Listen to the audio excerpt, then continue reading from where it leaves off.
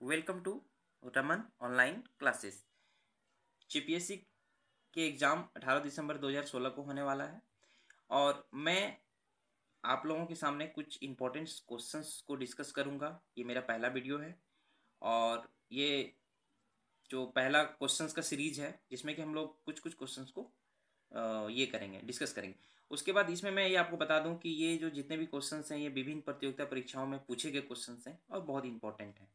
तो मैं समय को नहीं लेते हुए क्वेश्चंस पे डायरेक्ट आता हूँ। देखिए, पहला क्वेश्चन है कि महाभारत में झारखंड को किस नाम से जाना जाता है?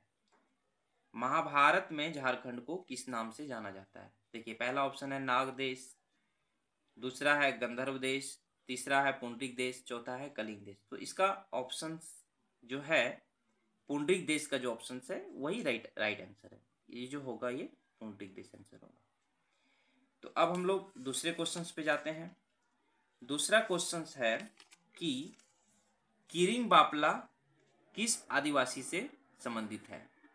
किरिंग बापला, देखिए, बापला का मतलब होता है शादी। शादी जितने भी जनजात, जितने भी जनजाति हैं, सबके अलग अलग शादियों के प्रकार हैं। तो इसमें देखिए बीरो जनजाति के दस दस शादियाँ मुख्यतः है। तो उसमें से उद्रा, उद्री बापला, बोलो बापला है। और भूमिज के जो शादी होते हैं, वो आयोजित विवाह उसमें प्रचलित होती है। तो इसका आंसर है संथाल। आप याद रखिएगा, संथाल जनजाति शादी। अब देखिए, उसी उसी शादी से रिलेटेड और एक क्वेश्चन है। अंधी और ओप तरीपी नाम से प्रचलित विवाह किससे संबंधित है? देखिए, इसमें ऑप्शन है उराव, मुंडा, हो, पहाड़िया। तो इसका सही आंसर होगा हो। ठीक है, अब हम लोग चौथे क्वेश्चन पे जाते हैं। चौथा क्वेश्चन है कि नागवंशी राजा नागवंशी राजा ने नवरत्न नामक नाम का पंच मंजिला भवन का निर्माण कहाँ करवाया था?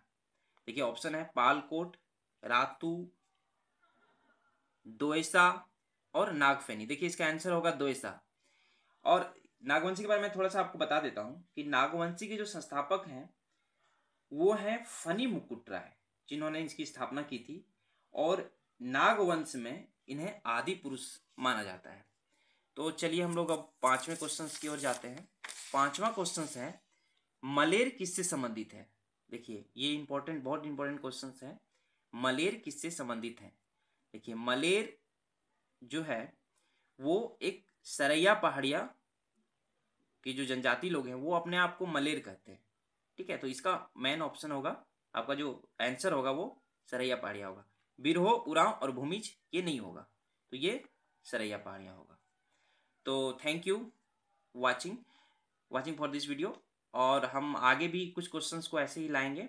आप लोग लाइक ज़रूर कीजिएगा इस वीडियो को, और कैसे लगा कमेंट ज़रूर कीजिएगा। Thank you